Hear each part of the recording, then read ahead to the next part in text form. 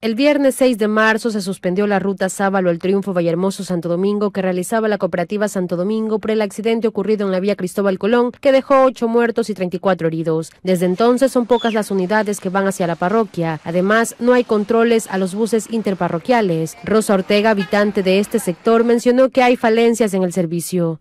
Muy importante que estén pendientes los choferes de ver su, cada carro que van conduciendo para ¿Ha visto controles? ¿Están realizando controles o no? La verdad no, no he visto nada de controles.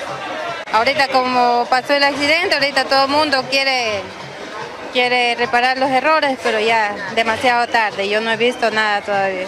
Vicente Llanos esperó más de 20 minutos para comprar un pasaje hacia Vallehermoso. En la mini terminal solo se observó la ruta Los Bancos Vallehermoso, servicio que brinda la cooperativa Santo Domingo.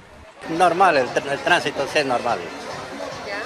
No hay, no hay inconveniente de eso. No. ¿Y las unidades que van hacia allá están en buenas condiciones? Sí, están bien. Bueno, más antes que ese carro que se ha accidentado, no sé, pero dicen que es el problema de que ha habido un chofer inexperto que ha ido tal vez ahí, por eso es que ha procedido el accidente. El gobernador Rodrigo García mencionó que se verificará si la cooperativa acató la disposición de la Agencia Nacional de Tránsito de suspender la ruta hasta el 21 de marzo. En todo caso, hay una resolución de la Agencia Nacional de Tránsito de suspender la ruta y de entregarle momentáneamente a la Cooperativa de Transporte de San Jacinto para que cubra esta ruta hasta que dure la investigación correspondiente. En las cinco esquinas el panorama es igual, no hay control de las unidades de transporte que brindan el servicio hacia Yuriquín y Julio Moreno. Los pasajeros consideran necesario que se revise la carrocería.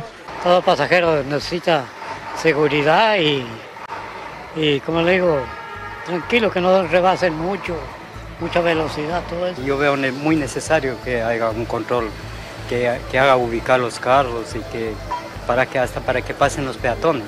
Los habitantes de las parroquias piden se verifique el estado en el que salen las unidades de transporte y así evitar más desgracias en las vías de la provincia. Con imágenes de Jonathan Saracay, informó Laura Cobeña.